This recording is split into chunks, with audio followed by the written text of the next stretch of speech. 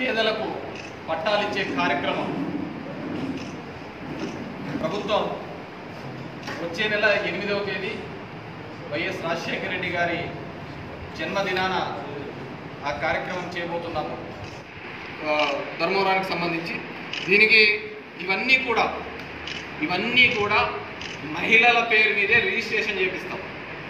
వాళ్ళ పేరు మీద రిజిస్ట్రేషన్ చేపిస్తున్నాం. రిజిస్ట్రేషన్ చేయించినది మీరు బ్యాంకులో లోన్ కూడా పెట్టుకోవచ్చు.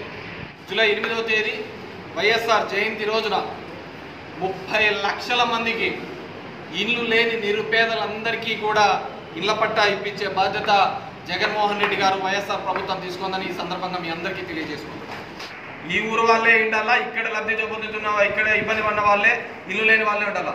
These are all registration papers survey number plot number layout ఎక్కడ నీట్గా ఇవ్వబడతాయి?